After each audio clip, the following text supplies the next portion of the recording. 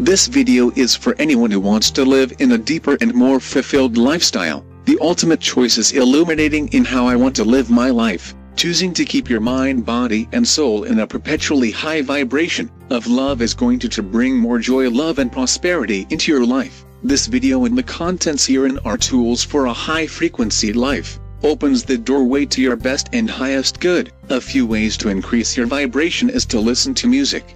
Now if the music contains dark messages it would be helpful to search for a more suitable quality of music. Exercising and volunteering your time will work too. Exploring your own psyche soul searching clear your own emotional baggage. Negative emotions disrupt your vital energy and can cause disease. Prayer and meditation quiets your mind, it gives source an opportunity to reach you all you have to do is listen. You can sit in a chair or lie in bed take some deep breaths do a visual meditation or just quiet your mind. You don't have to chant or sit in a position that is uncomfortable to you. Taking an inventory on who you hang out with who do you spend most of your time with. Are they peaceful loving kind compassionate selfish greedy lie or cheat? You cannot keep your energy high in association with people who vibrate with a low frequency. Surround yourself with people who empower you. Having compassion helping others raises your vibration. In having compassion for another sometimes we also take on their stuff simple rule their stuff not yours. Always remember how blessed you are to help someone less fortunate than yourself random acts of kindness goes a long way.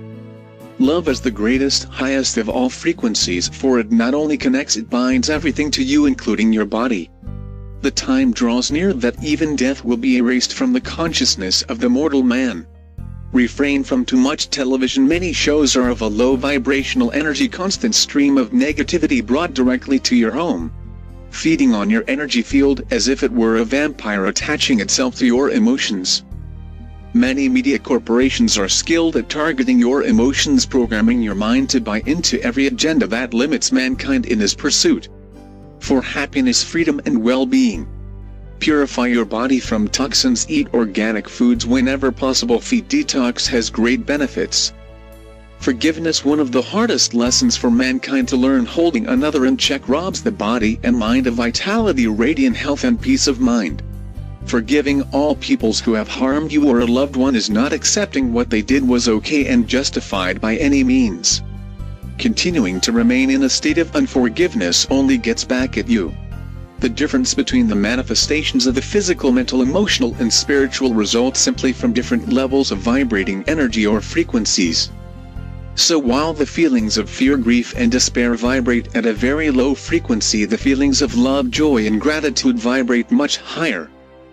This has been a Dr. Virtual 7 audio presentation.